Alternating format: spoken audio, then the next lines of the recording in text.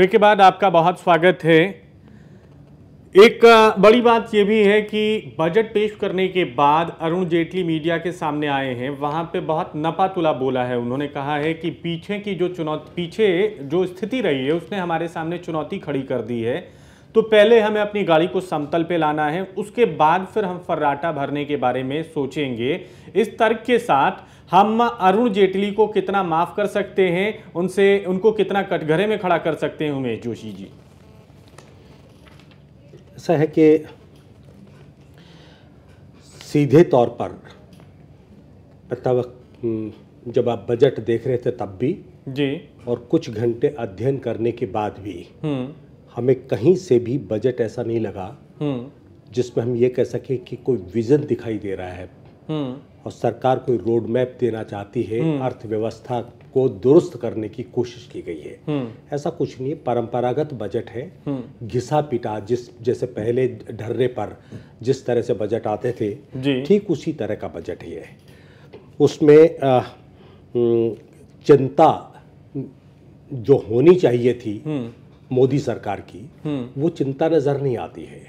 हम्म। Simple कि एक लेखा जोखा होता है कि इतना पैसा आएगा फला फला मद से इतना पैसा खर्च करेंगे फला कई अर्थशास्त्री सर यहाँ पे ये तर्क दे रहे हैं कि सिर्फ़ सात महीनों के लिए ये बजट है तो एक तरीके से उनके लिए अंतरिम बजट है। अभी सब कुछ बहुत सीधा रखें आने वाले समय में जब अगला बजट उनको लेकर आना है तो अपनी दक्षता का परिचय उसमें दें वो। नहीं चाहे वो सात महीने के लिए हो या दो महीने के लिए हो बजट तो बजट है। हम्म। और ये पहला बजट माना जाएगा मोदी सरकार का। और पहले बजट में ही अगर आपका विजन दिखाई नहीं दे रहा है हम्म। कोई एक स्पष्ट दिशा निर्देश नहीं दिखाई दे रहे हैं हम्म। एक कोई ऐसी ज़मीन नहीं दिखाई दे रही है जिस पर आप अर्थव्यवस्था की मज़बूत नींव खड़ी करना चाहते हैं उस तरह का कुछ भी दिखाई नहीं दे रहा है। हम्म।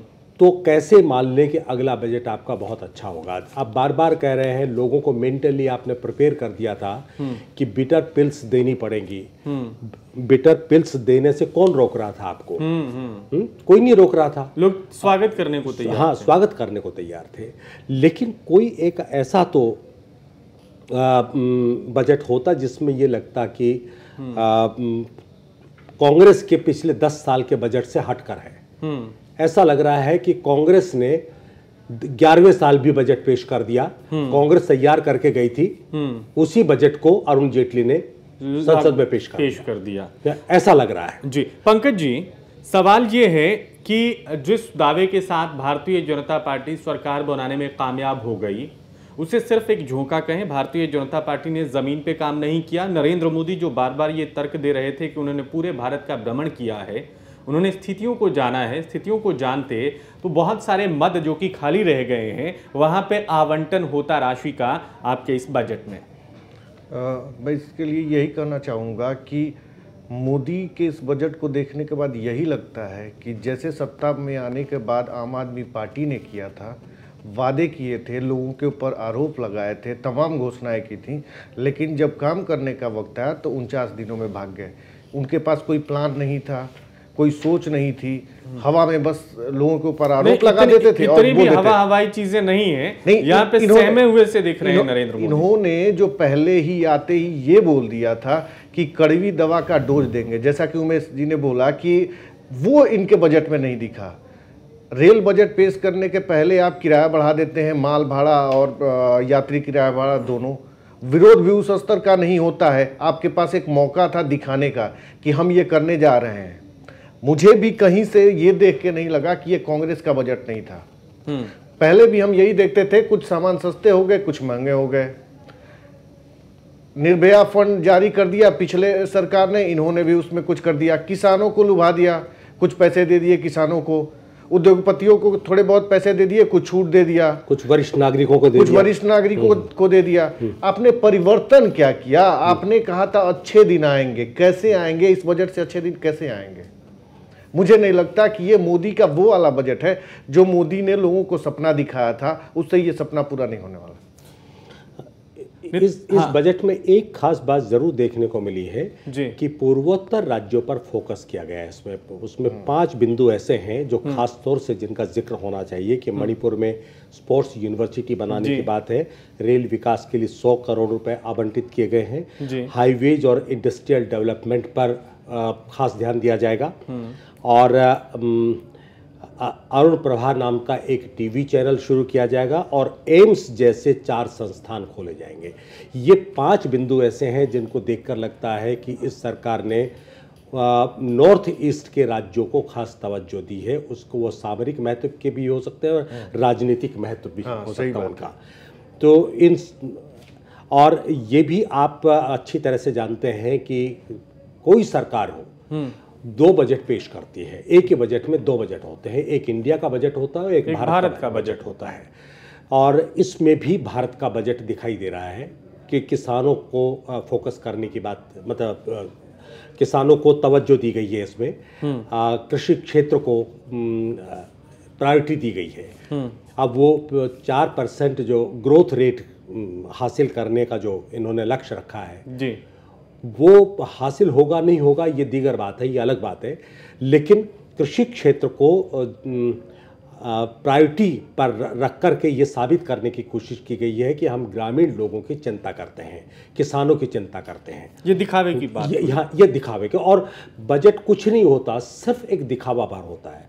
आप ये देखिए कि आज तक जो पिछले पंद्रह साल का अगर आप एनालिसिस करें तो किसी भी बजट के सिक्सटी सिक्स परसेंट से ज़्यादा वायदे पूरे नहीं हो पाए। हम्म। मैक्सिमम 66 परसेंट अचीव हुआ है। जितना कहा गया है इस बजट को कितना अचीव कर पाएँगे ये देखने वाली बात है। लेकिन कांग्रेस के जितने बजट हैं एक बार तो ऐसा भी हुआ है कि वो अचीवमेंट मात्र 30-32 परसेंट पर आकर के रुक गई है। थोड़ी नई बातों पे हम आ, और आगे चर्चा करते हैं। जो यहाँ पे प्रस्तावों की बात हम देखते हैं, क्या बजट में प्रस्तावों प्रस्तावों को लाना इतना वाजिब है या वहाँ पे अगर प्रस्ताव है तो उसके साथ राशि का आवंटन होगा, नहीं होगा, इसको क्लियर करना ज़रूरी है। सिर्फ़ बातें करने से हिसाब किताब तो नहीं बनता है। सर, जैसा कि इसमें एक और हम एग्ज़ाम्पल देख रहे हैं, बीस लाख से अधिक आबादी वाले शहरों में मेट्रो चलेंगी। कैसे चलेंगी, क्या लेखा जोखा होगा, कितना पैसा उस मद पे खर्च किया जाएगा, इस बारे में कोई ज़्यादा जानकारी नहीं। आप सवाल मेरे से किया हाँ आपने? आपसे ही आ, इस बात पर हम पहले भी चर्चा कर चुके हैं कि आ, सबसे ज़्यादा जो चुनौती है सरकार के सामने वो पैसे की धन की चुनौती है। और उसके लिए सरकार बार बार दो तीन बातें कहती रही है कि एफडीआई आमंत्रित करेंगे। और एफडीआई भी जैसे 26 परसेंट का एक कैप था उसको हटा करके उन्होंने 49 परसेंट किया है। पीपीपी को भी बढ़ावा देने की बात कही है। एनजीओज को भी इसमें इन्वॉल्व करेंगे। पीएसयूज को भी इन्वॉल्व करने की बात है। बैंकों को भी आ, अपने मतलब ऑटोनमस स्टेटस दे करके उनको अपने तरीके से फैसले करने का अधिकार दिया है। ताकि वो भी इंफ्रास्ट्रक्चर में या किसी भी सेक्टर में अगर वो आना चाहते हैं इन्वेस्ट करना चाहते हैं तो उनका भी स्वागत होगा।